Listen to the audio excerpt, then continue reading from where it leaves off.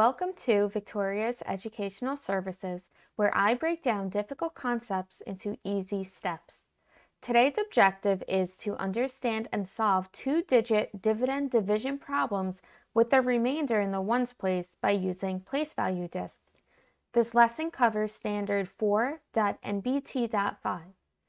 This topic is difficult for many adults I know because when we were in school, we were only taught the standard algorithm, which we knew as long division.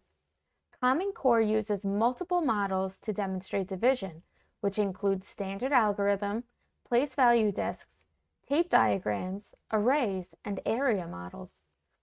Today, we will be learning about using place value disks to divide. By the end of this video, you should be able to divide using place value disks with no problem. Okay, let's get started. Let's start with Lesson 16 problem set. The directions tell us to show the division using disks. Relate your work on the place value chart to long division.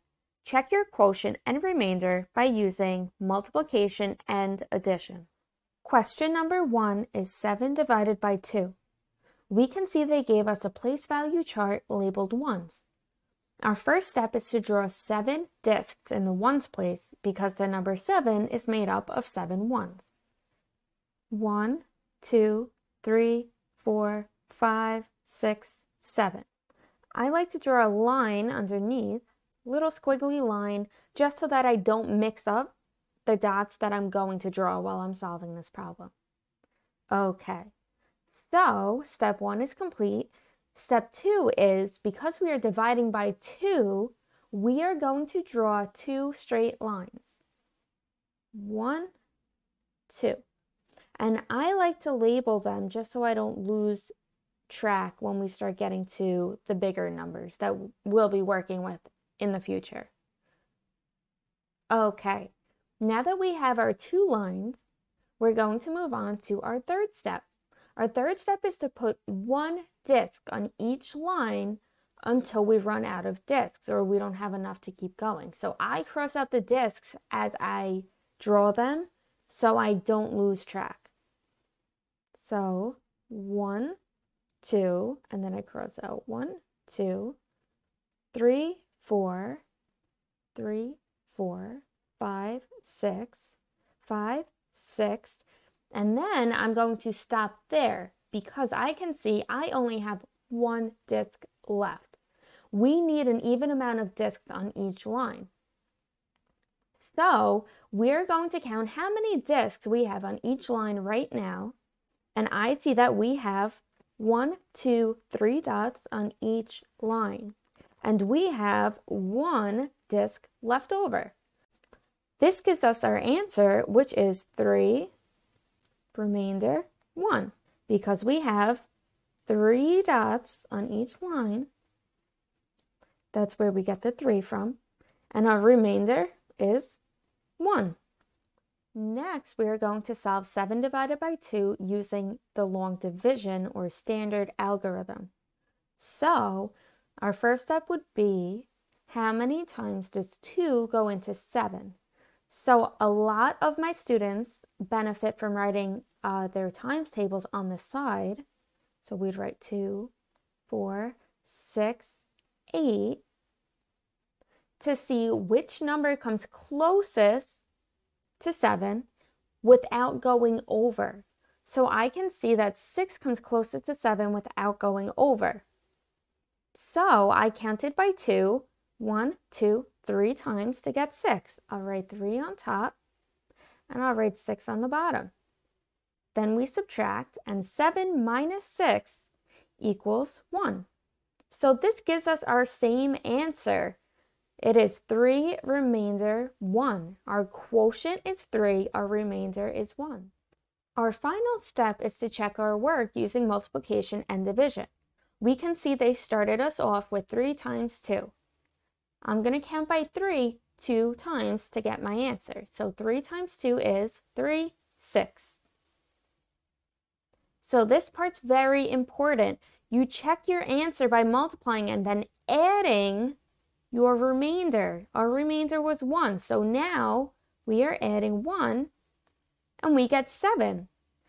The number that we were dividing was 7, so our answer checks out, and we are all done. Here's our next example. So problem number 2 is 27 divided by 2. As you can see, they already gave us our place value chart with our tens and our ones column labeled. The first thing I'm going to do is draw my ones.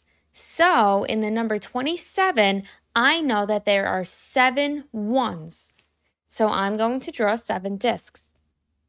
One, two, three, four, five, six, seven.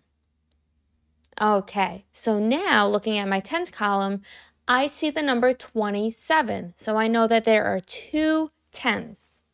One, two. Remember, I like to draw a squiggly line just separating my discs so that I don't confuse them with the ones that I'm going to draw. So my next step is to draw two lines because just like that last problem, I'm dividing by two. So now I'm going to take a look at my dots and I'm starting in the tens column because if I have anything left over in the tens column, I'm going to have to move it to the ones column. So make sure you start with the tens. So remember, I'm just taking each disc and I'm writing it on the line. So we have one, two, and I use both of my dots. So now I'm going over to my ones column. One, two, make sure you're crossing out your dots. Three, four, cross out your dots. Five, six, cross out your dots. And just like our last problem, you can see that I have one dot left. All right, so to record our answer, we're looking at the tens column first, and I see I have 110 in both columns. So I have 110, and if I look at the ones column, I have three ones in each column. So I have three ones. And as you know, our remainder which is up top, is 1 because we had one dot left over. So 27 divided by 2 is 13, remainder 1.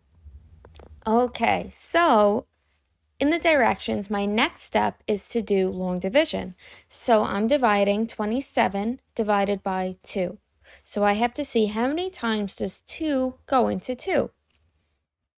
If you need to, you can start writing your 2 times tables, but we can see 2 goes into 2 one time. So I'm writing 1 on top and I'm writing 2 below. 2 minus 2 is 0, and then I bring down my 7. How many times does 2 go into 7? 2, 4, 6, 8. Remember, we want to get as close to 7 as possible without going over. So I see that would be 6. So I count by 2s, 1, 2, three times to get six. All right, so now I have 13 up top. I need to do 2 times 3, which is 6, subtract, and I have 1 left over. I have no numbers left to bring down, so that 1 is my remainder. Now we can check our work. So if you remember our steps from the last problem, the first thing we're doing is multiplying our answer, which was 13, without the remainder. We're multiplying it by 2 because that's the number we divided by. So 13 times 2. 3 times 2, well, if I count by 3 two times, I get 3, 6. 2 times 1 is 2. And don't forget, we have to add our remainder. Our remainder was 1. So 26 plus 1 equals 27. And I get what I started with. So I know that my answer was correct. So for this, the quotient was 13 and the remainder was 1. That's all for today. Thank you for joining me. Please like and subscribe so I can continue to provide free educational videos. Comment with any questions or suggestions for tutorials that you would like to see next. Thank you.